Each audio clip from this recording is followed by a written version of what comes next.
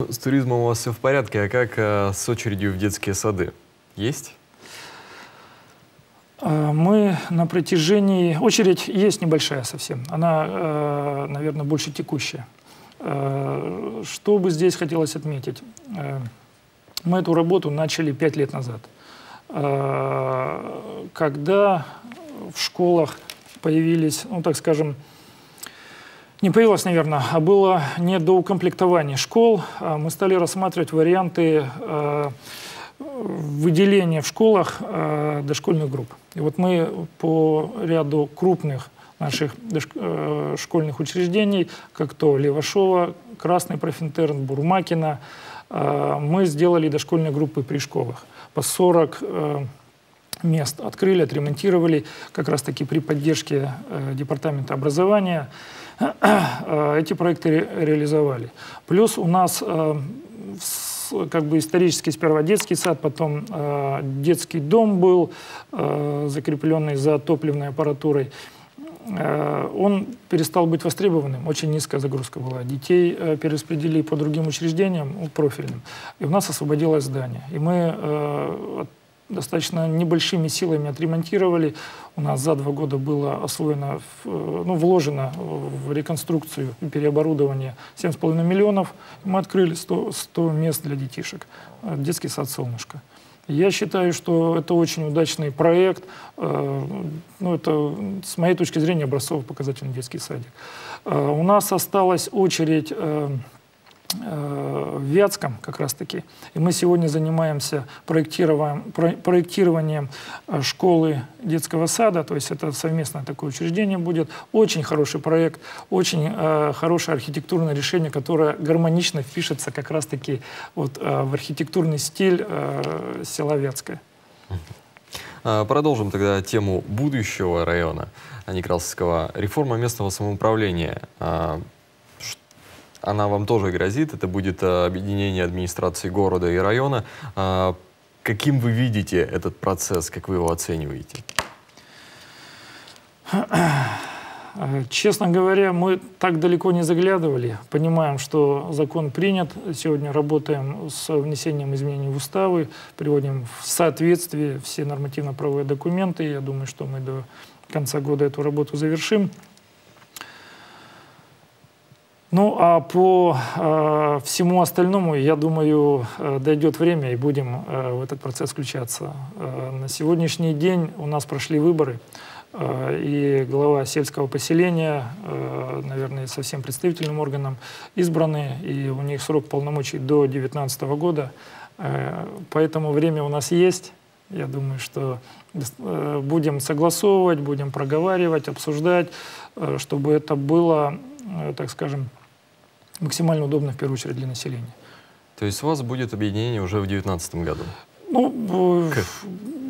до 19 у нас, наверное, есть время, так скажем. А когда это объединение у нас пройдет, э, я думаю, жизнь покажет. А, вы председатель Совета органов местного самоуправления, и а, недавно был восьмой съезд. А, обсуждалось там, в частности, институт формирования глав. Вот а, что это такое? Но на самом деле там вопросов очень много обсуждалось. Э, и большое направление было рассмотрено и посвящено земской реформе. Да, мы вот исторически это все рассматривали, как это все зарождалось, как э, формировалась структура местного самоуправления. Вот.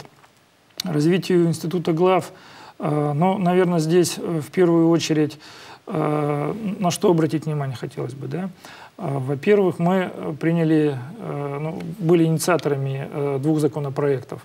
Законопроекта о сроках и полномочиях органов местного самоуправления и второго законопроекта о вопросах местного значения.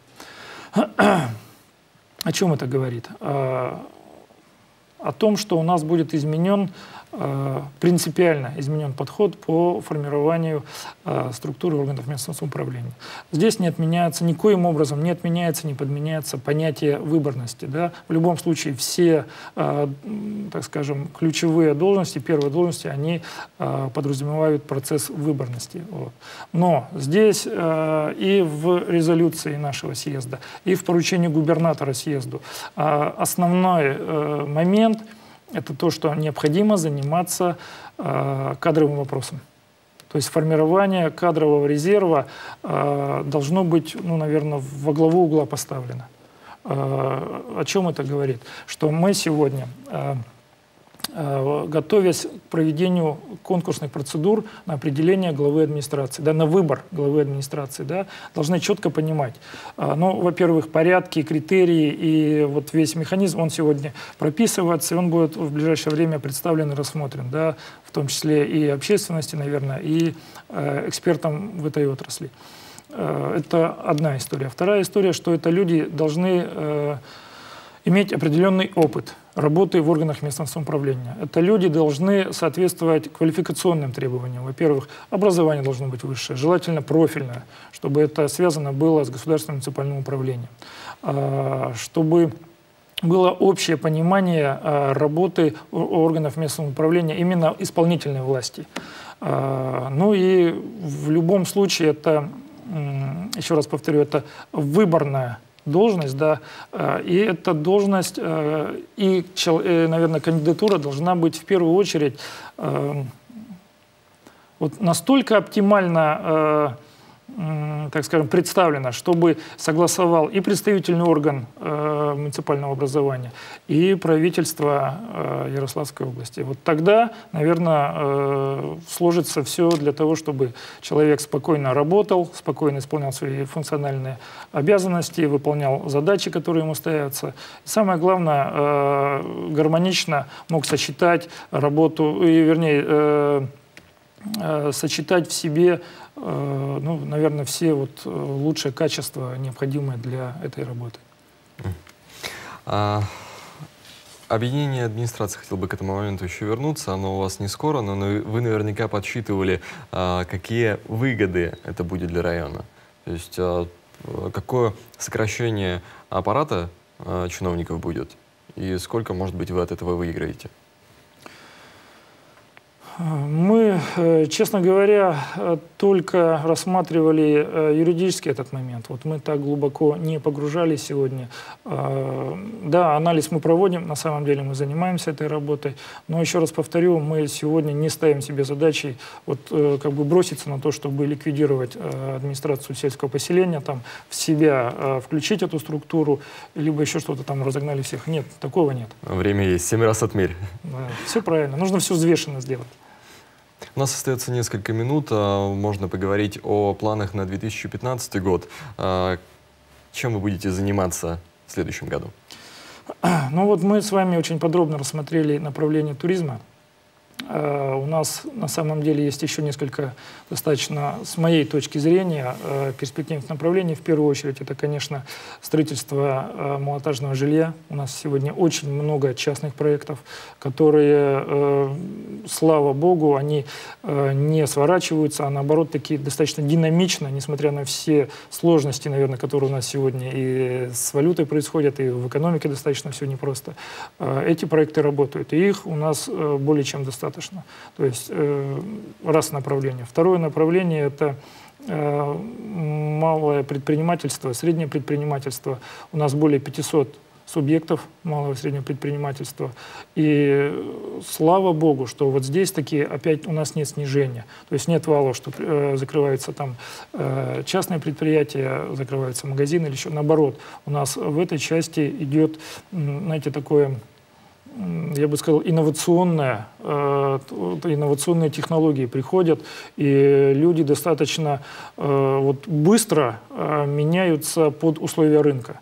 То есть предлагают лучшие сервисы, предлагают лучшие услуги. Вот это очень здорово. То, что, ну, это само по себе говорит, что э, есть заинтересованность э, вот, вот этого, в этом сегменте у людей, и не только с нашего района в том числе. Да. Э, хотелось бы, конечно, сказать еще одно направление для того, чтобы и туризм, и э, малый бизнес, и строительство, и производство у нас э, не просто э, задерживалось, а наоборот еще дополнительно приходило. Мы сегодня очень серьезно занимаемся инфраструктурными вопросами.